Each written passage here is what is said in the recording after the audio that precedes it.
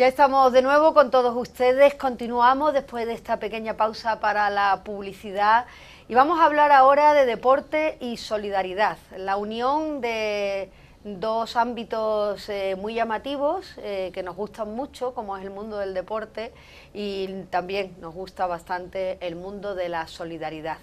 Y la unión de ambos es lo que ha conseguido, en este caso, Alberto Benedicto, que es un corredor de Dakar. Ha venido el Dakar, ¿no, Alberto? Eso dice. Buenas noches. Buenas noches. Oye, que me llama la atención a mí eso de con qué has participado en el Dakar, con coche, con camión, con qué. Con un buggy. ¿Con un buggy? Con el Águila 349. Ah, Es- es- bien. ¿Y cómo, ¿Y cómo ha ido la cosa? ¿Has conseguido terminar? ¿Cuántas Bueno, etapas has corrido? Hemos corrido 10 y nos quedamos en la 11. ¿Y qué te pasó? ¿Se rompió avería- el buggy? No, una avería mecánica grave y no pudimos completar todas. no pudimos terminar. Pero eso entra dentro de, de lo que es el deporte. Totalmente, Hay que porque, saber- porque entiendo que es tu afición.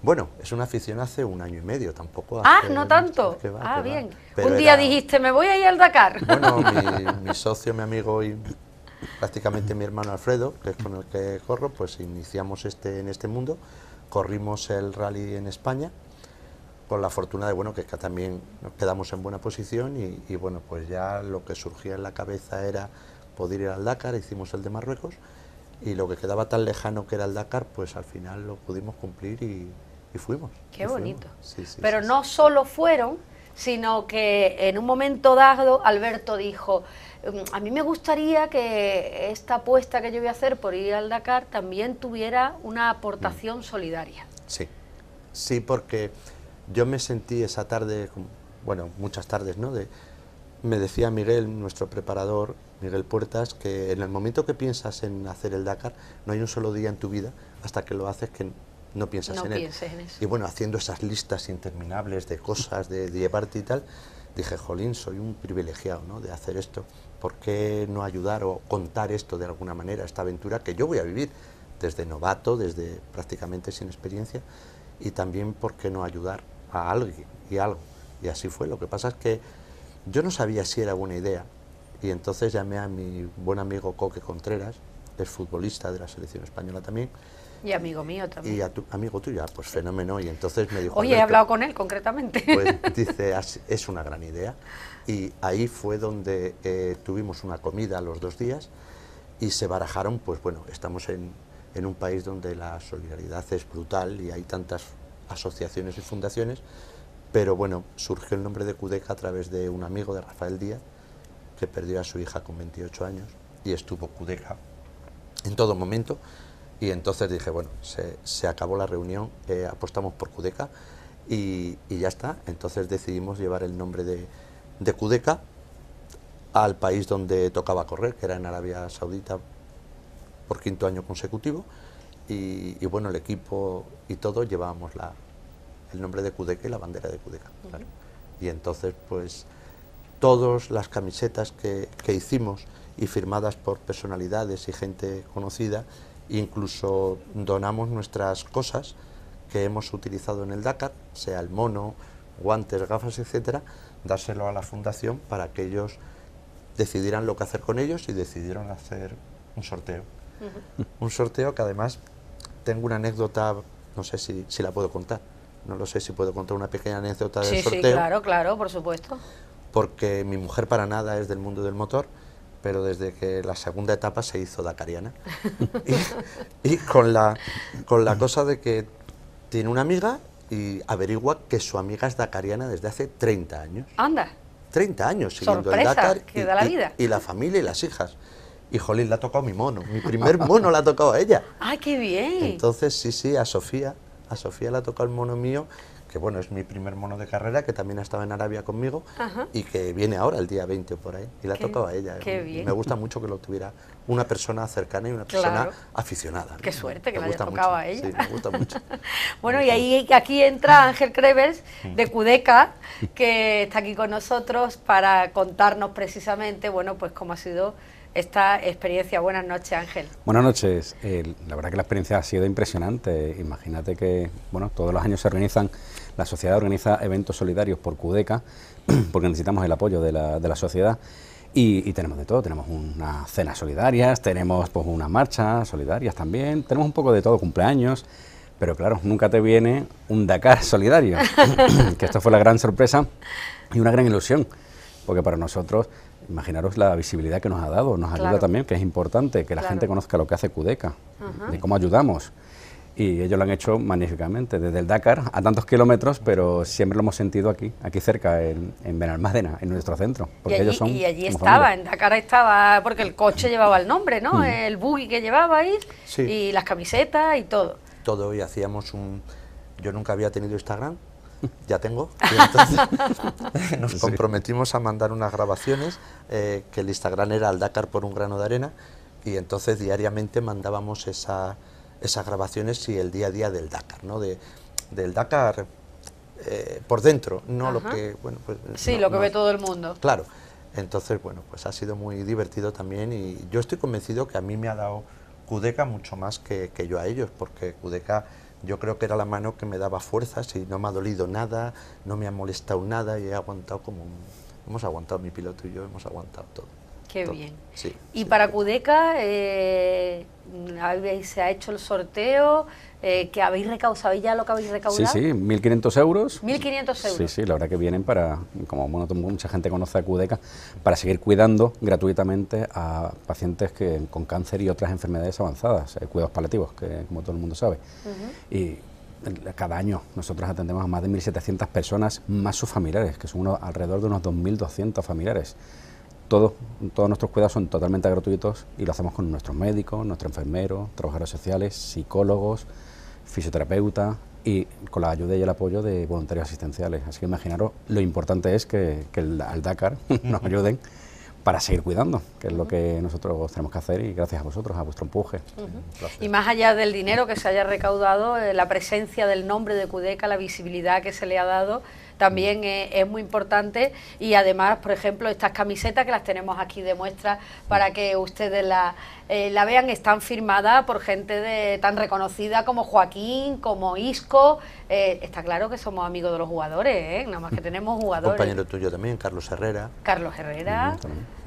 y, todo, y, todos han querido participar en esto. Sí, sí, además yo se lo decía a Ángel hace un momento, digo, ha habido tantísima gente que me han preguntado qué era Cudeca. Claro. estando allí en, Arabia, pues bueno, te preguntan, bueno, Cudeca, ¿qué? Pero ha sido tan agradable explicarlo porque es brutal, es brutal lo que la labor que hacen esta familia. Totalmente. Y, yo estoy, a, mí me han ayudado mucho más eh, psicológicamente y, y me siento muy fuerte y para seguir con proyectos y, y vamos a ver qué nos inventamos. Total, que, que, Alberto ha sido el embajador de Cudeca no, ni mucho Dakar. Menos, no, ni mucho menos. en Dakar sí. Eh, bueno, en el Dakar ahí hemos estado y, apoyando y haciendo lo que hemos podido, también divirtiéndonos mucho, ¿eh? Totalmente. como hay que hacer las cosas. Pero sí que, que, por ejemplo, el amigo Coque ha sido brutal en las redes eh, mediáticas y, y bueno, eh, ha sido muy bonito. Ha sido una experiencia magnífica. Eh, estas camisetas ya tienen dueño, ¿verdad? Sí, ya tienen dueño. Las tenemos aquí para que ustedes la vean, pero tienen dueño. Sé yo de tres o cuatro dueños de que sé, pero no sé. Lo demás gente no, lo sé, los demás sí que me lo han dicho, oye, pues me, ha tocado esto, ¿no? Por el número, porque el sorteo fue el otro día sí, sí, sí. a pecho descubierto, entonces, pues bueno, sí, sí, así es. ¿Cuántas camisetas se han sorteado? Pues no lo sé cuántas, cinco o seis. Cinco o seis, creo. Cinco o seis, estaban las gafas, los monos y, bueno, pues, pues lo que se nos ocurría un poco a nuestra Alberto, y a partir de ahora, ¿qué va a hacer? Porque ya una vez que está vinculado con esto, ya eso es como, eh, es como un gusanillo que tiene uno que seguir haciendo cosas. Pero bendito gusanillo, ¿no? Que, claro. sí, sí, sí. Yo he pasado un año muy entretenido porque además te desconectas un poco del trabajo y te, mm, te encaja la, la, cabeza, ¿no? Y además te vuelves más... Yo soy bastante disciplinado, ¿no? Pero me hacía falta un, un compromiso como el de, el de Cudeca para todavía tener más fuerza, ¿no? Y ya te digo, no me ha dolido nada con mi edad, eh, con 62 años, y oye, no me ha dolido ni un hueso. Y hay, que decir que el Dakar es una prueba muy, muy dura. ¿Cómo, cómo lo has vivido, ya lo que ha sido la competición, ese rally? Yo muy ilusionado. Ya dicen, dicen los expertos que ha sido el rally, el Dakar más duro de última. Sí, eso es lo que dicen. Pero cuando se va con tantas ganas, con tanto, yo te digo la verdad. El otro día me preguntaban cuál ha sido la etapa más dura Y para mí la etapa más dura es la que no pudimos hacer, la que Claro. tuvimos que volver en el kilómetro 10 porque nos quedábamos colgados. Esa fue para mí eh, el no seguir poniendo nombres a las etapas porque ya también pensé en ponerle nombres, ¿no? Y, y- y la siguiente que íbamos a hacer era la de Cudeca, precisamente, que la anuncié. Y bueno, pues te da mucha pena, es la etapa más dura. Las demás, el dolor es pasajero. eh. Sin embargo, cuando llegas a algo, eso es para siempre ya, ¿no? Y eso fue. Sí. Pero y, y no, no sentís miedo, no, porque estamos hablando de una prueba eh, que Tal te, vez- te puedes perder por allí, que puedes tener un accidente importante. Perderte no, perderte... No, no, eh, está si todo muy- A ver, si estás preparado, que lógicamente a- cuando tú haces una prueba tan extrema tienes que, que prepararte de navegación, etcétera, y sobre todo de tranquilidad, de tener esa O tranquilidad sea que la habéis preparado mucho. psicológicamente mucho. Yo, yo pienso, yo no soy ningún portento, ya me puedes ver, ¿no? Ni soy deportista nato, entonces yo, yo soy un espécimen raro en ese aspecto. Sin embargo, de cabeza yo iba, que a mí no me sacaban de allí nadie, no me iba a ganar nadie seguro. O sea, no me iba a rendir ante esa prueba nunca. Eh, perderte no te pierdes, pero sí que la noche, nosotros corríamos mucho de noche porque al ser lógicamente no somos los top, entonces nos pillaban casi todas las etapas de noche en las dunas. Entonces sí que es un poco de respeto, ¿no? Tal Claro. vez se juntó también la inconsciencia y el respeto, pero miedo no, porque bueno, pues estás ahí voluntariamente, nadie te lleva eh, obligado, ¿no? Eh, pero sí es, eh, es durillo. Es durillo, claro que es durillo. Sí, bueno, sí. y ya que estamos aquí, a ver si sacamos algo que, que podemos hacer conjuntamente, ¿no? Al- Alberto, Ángel, algo habrá que hacer, ¿no? ¿Alguna prueba nueva? O, Pues sí, sí, ¿no? te- tenemos algo en cabeza, ¿eh? tenemos ya ¿Como una prueba. ejemplo? Pues mira, una prueba que va a hacer mi piloto, que él es muy aficionado también a las motos, y entonces... mi- Alfredo. Alfredo, Alfredo Rubio, y, y entonces nuestro entrenador, que es Miguel Puertas, que él ya lleva 12 Dakares en moto, también es dueño de un equipo que hace el Mil Dunas. Mil Dunas es una prueba en moto que sale desde Granada y llega hasta Metzúgar, Marruecos, y, y lo va a volver a hacer este año, lo hizo, lleva ya desde el 2018. Y, y hablaba el otro día con Miguel, le digo, Miguel, ¿qué te parece seguir con Cudeca, no? Y dice, fantástico. Entonces, entonces digo, ya tengo algo que hacer. Bueno, Entonces, ¿eh? Bueno. pues... eh, Esta, si Cudeca- esta, esta Bueno, unión ha nacido para seguir. si. Cudeca está de acuerdo, pues bueno, eh, Miguel, que es el director y el dueño de, del Mildunas, pues está dispuesto también a, a colaborar y en poder pues eh, seguir con estas historias, ¿no? De Ángel, ¿qué le decimos? Nosotros encantados de, de- de acompañarle. Ah, ya lo hemos firmado aquí, ya espíritu. lo hemos firmado aquí A las dunas, en a las dunas. Tienes que echar una mano, ¿eh? Sí, Siempre claro que sí, claro, por supuesto, aquí estamos La- para echar una mano. de difusión. Claro que sí, por claro. supuesto que sí. Sí, sí, sí, Por sí. supuesto que sí. Y nada, tienes- si Pues- quieres que te cuente algo más. Pues eh, solo me queda daros la enhorabuena, tanto a uno como a otro, eh, por ese, por haber cumplido el sueño y Sí. además que el sueño haya sido solidario, Sí. que se haya ayudado de alguna forma a, a Cudeca, tanto Mm. por esa aportación económica, por, por la visibilidad que se le ha dado. Y si de aquí nace la unión de seguir, estamos encantados. encantado. Por supuesto, para mí yo estaría encantado y además me han tratado siempre, pues bueno, como les voy a hablar yo a ellos de tratar a la gente, ¿no? Cuando están tratando. Son especialistas, son Son especialistas especialistas. en ello. Eh, para mí ha, ha sido un placer, un auténtico placer y es difícil desengancharse de ellos, ¿eh? Es muy difícil. Le realizan una labor tan importante Uf, eh, sí. que Sí, y después hablas esto- con gente y todos les conocen y todos te hablan bien, entonces ya te metes y dices, no quiero conocer a nadie más, no por nada, pero ¿para qué? Claro que sí. Pero sí seguir con proyectos de estos que podamos llevar la bandera. Pues a seguir adelante. Muchas gracias por Muchas estar con nosotros, lo dicho, enhorabuena. Y en la, la próximo que hagáis, aquí estamos nosotros. Pues muchas ¿Eh? gracias a vosotros. siempre os vamos a acompañar. Muy bien, muchas, muchas gracias, gracias. gracias por estar con nosotros. Bueno, pues estamos llegando ya al final de nuestro programa y lo vamos a hacer hablando de música y de libros. Bueno, pues ya está aquí esperándome Giacomo y Mónica. Doble juego, bienvenidos a los Hola, dos. muchas gracias. Una vez más estáis con nosotros y me da una alegría magnífica que estéis aquí para ponernos ese ambientillo que nos ponéis con vuestra música. Este ritmo. Ese ritmo. La vida ¿verdad? es ritmo. La vida es ritmo, además que de verdad. Y hay que tomarla con ritmo. Sí, si no, pasadas, morimos.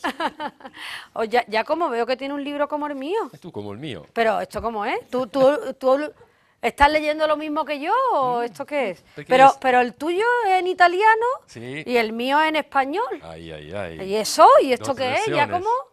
Porque Cuéntame, soy ¿esto qué italiano, es? eh, ¿Tú eres italiano? Sí, se, esc- se escucha cómo hablo, Sí. Que va. mi pronunciación es así. Entonces lo he escrito en italiano, tengo más facilidad. Ah, que este libro es tuyo. Ah, sí. Ah, Eh, ya sí. decía yo, digo, ¿cómo puede ser que tengamos ya como yo el mismo libro? Hemos elegido lo mismo. O sea que además de cantar, Sí. también escribes. Sí, te- tuve tiempo con la pandemia, Sí. porque estuvimos sin- sin, trabajar, empecé a escribir de un día con el otro, ocho- cinco o seis horas al día, me gustaba muchísimo, me emocionaba mucho. En ocho meses terminó la pandemia terminó mi libro. O sea que lo hiciste en la pandemia. Sí, sí, siempre, porque no ten- tenía mucho tiempo. Acércate el micro Oh, para perdón. que te puedan oír todo el mundo. Disculpa. Nada.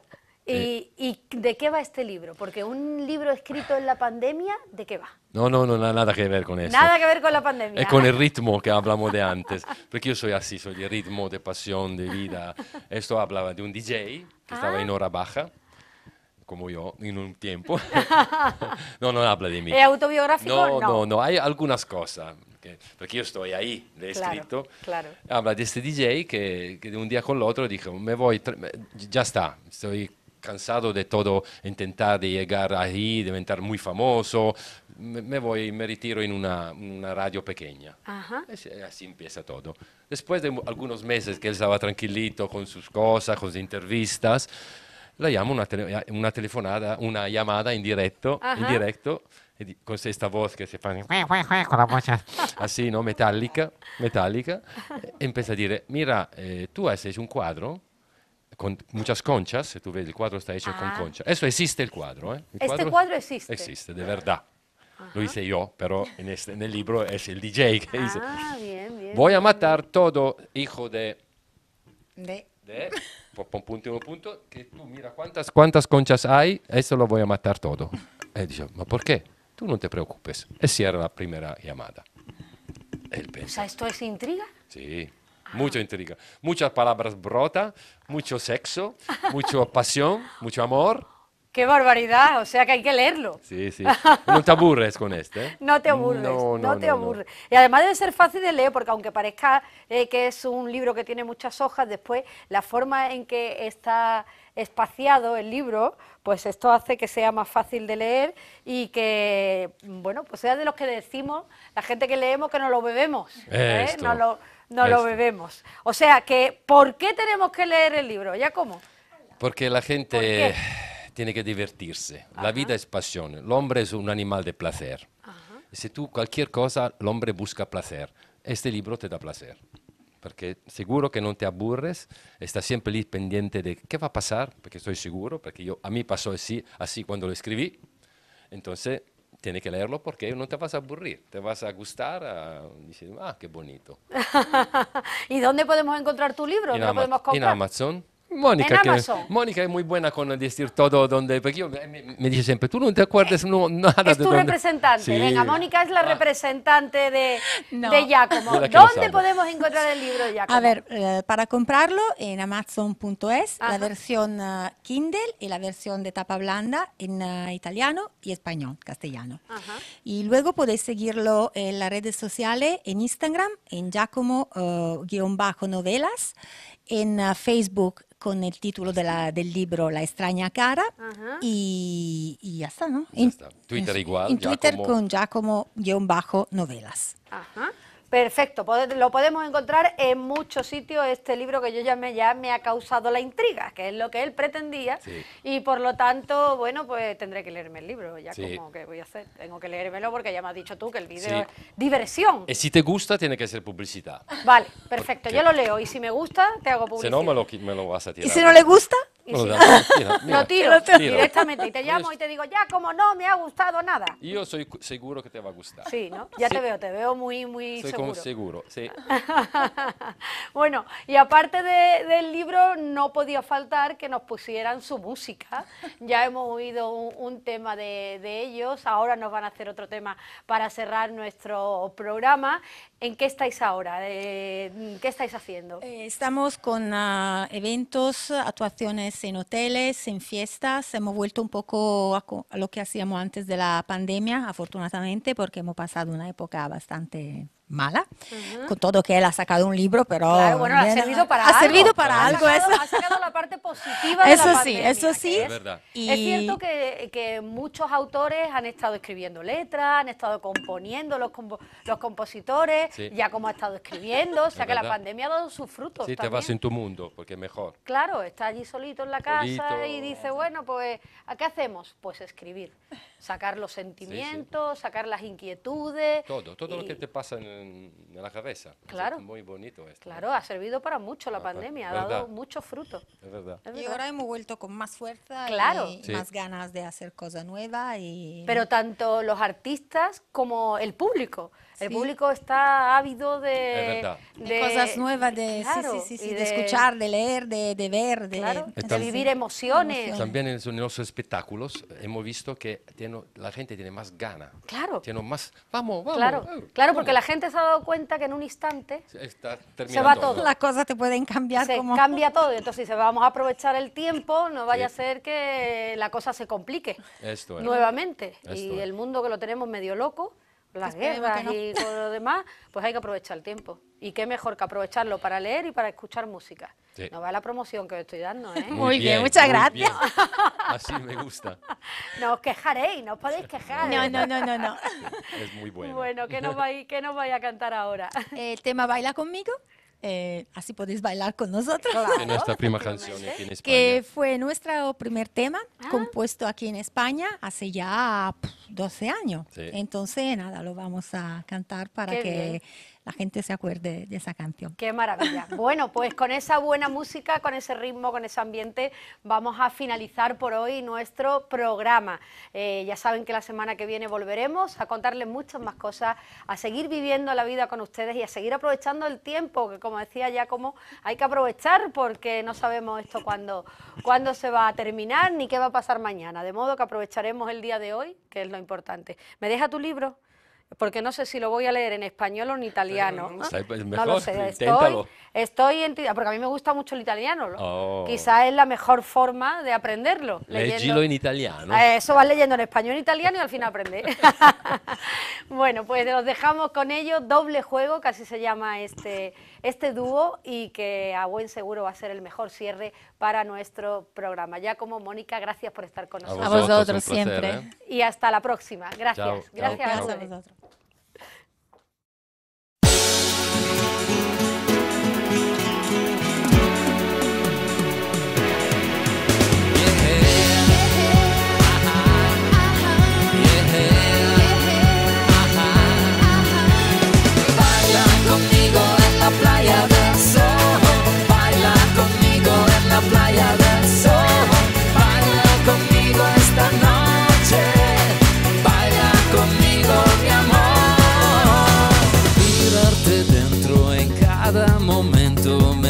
Soñar junto a ti.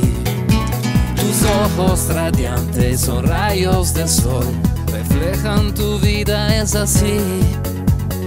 Pero esta noche con la luna llena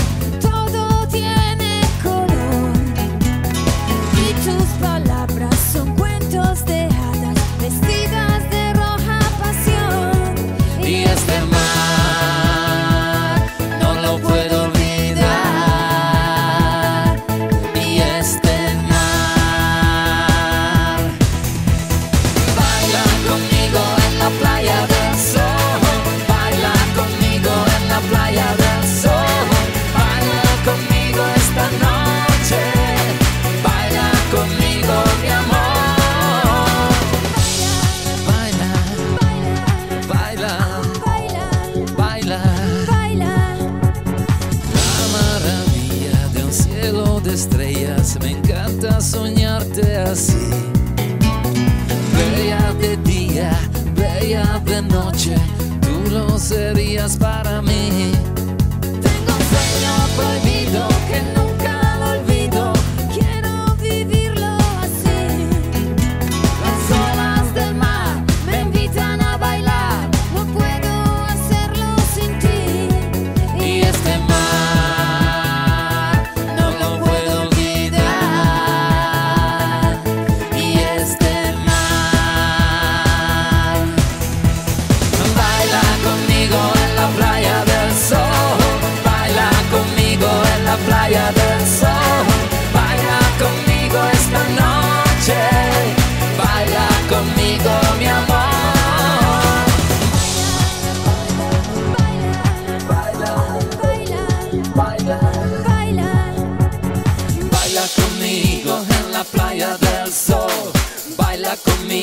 Esta noche.